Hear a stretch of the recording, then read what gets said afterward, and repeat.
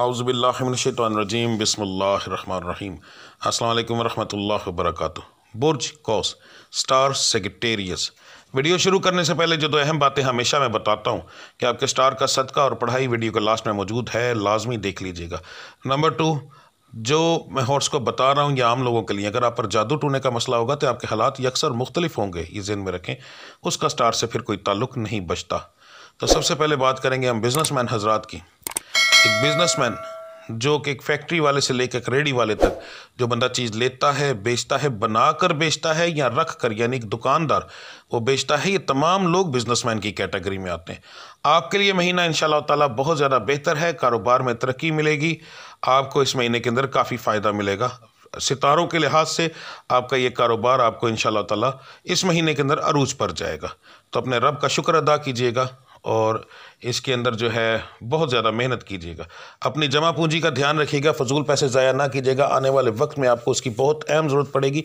अगर आपने इन दो महीनों के अंदर या एक महीने के अंदर अपने आप को ना संभाला तो जहन में रखिएगा कि आने वाला पूरा साल आपकी इस दो महीने की या एक महीने, क्योंकि अगला महीने के चांस काफ़ी ज़्यादा हैं कि वो भी आपका बेहतर होगा।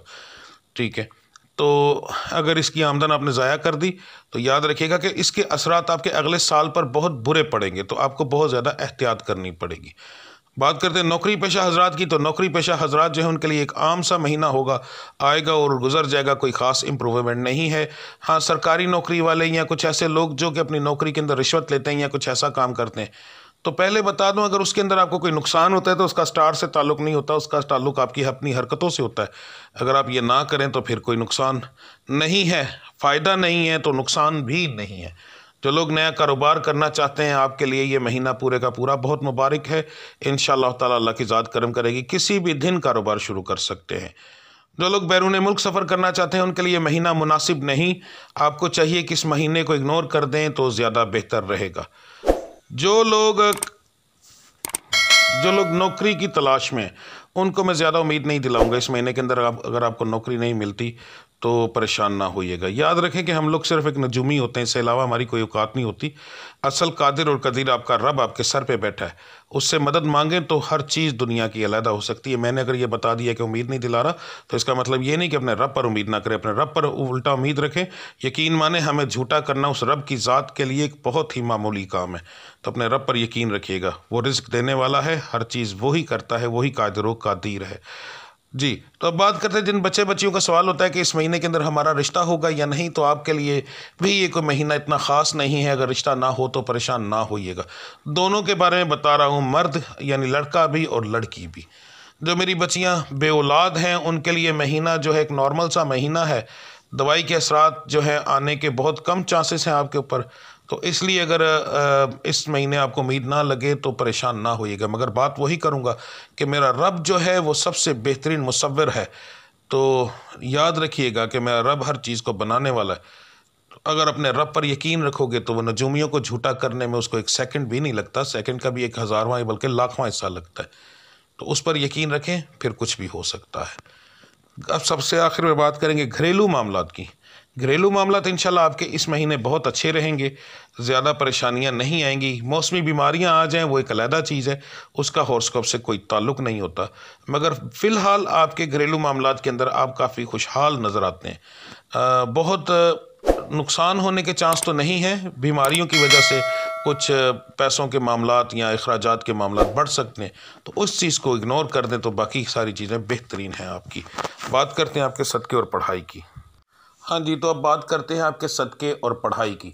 बारह के बारह स्टार्स और बुर्जों का जो सबसे बेहतरीन सदका और पढ़ाई है, हर सोमवार वाले दिन। आपने देना है एक मुट्ठी चावल, एक मुट्ठी मसूर की दाल जो लाल रंग की होती है, और एक मुट्ठी आपने ले लेनी है चीनी। उसको अच्छे से अपने हाथ से मिक्स कर लेना है ताकि चावल बारीक लेने मोटे नहीं लेने, यानी साबुत नहीं लेने, बारीक लेने उनको अच्छे से चीनी लग जाए, अपने हाथ से मिक्स करें। उसके बाद कब्रिस्तान चले जाएँ या किसी ऐसी जगह पर जाएँ जहाँ पर परिंदे मौजूद हों। ठीक है, वहाँ पर जाके आपने उन तीन मुट्ठियों का छट्टा देना है। पहले इस तरह एक मुट्ठी पकड़नी है तो उसको आगे फेंक देना है ताकि वो वहाँ पर फैल जाए। और जब आपने छट्टा देना है तो कहना है, ये मैं नबी पाक के आने की खुशी में दे रहा हूँ। क्योंकि आका करीम दुजम की जो पैदाइश का दिन था, वो सोमवार था। तो आप उनके आने की खुशी में ये सदका देंगे। तो आप कहेंगे कि मैं नबी पाक के आने की खुशी में दे रहा हूँ। एक बार कहना है और तीन बार मुट्ठी फेंकनी है। पहली बार कह लें, दूसरी बार कह लें, तीसरी बार कह लें, कोई ख़ास पाबंदी नहीं है इसमें। ये आपने हर सोमवार करना है। इन ताला एक सोमवार सदका देंगे तो अगले सोमवार तक मेरा मालिक बेहतर कर देगा हर चीज़। आपको खुद महसूस होगा कि आपको इस चीज़ से फ़र्क पड़ा है। पढ़ाई ईशा की सत्रह अरकात के बाद यहाँ बहुत मेहरबानी कीजिएगा कि बहुत ज़्यादा लोग मुझे कमेंट्स करते हैं कि जी ईशा की सत्रह अरकातें नहीं होती।